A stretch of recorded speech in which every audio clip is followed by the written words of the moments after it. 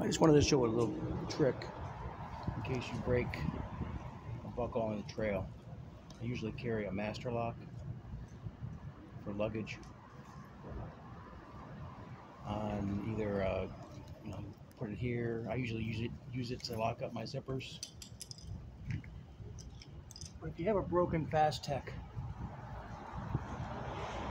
on your backpack and you have I usually carry one with me. Recently bought this backpack, wasn't very expensive. This buckle here broke. I had just happened to have this one laying around. So what you do is you feed that through.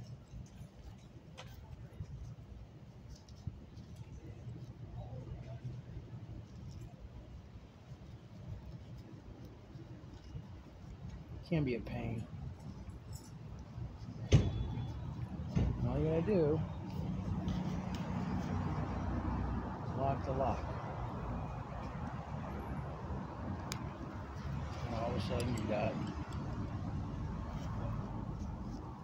instant buckle. Never put out.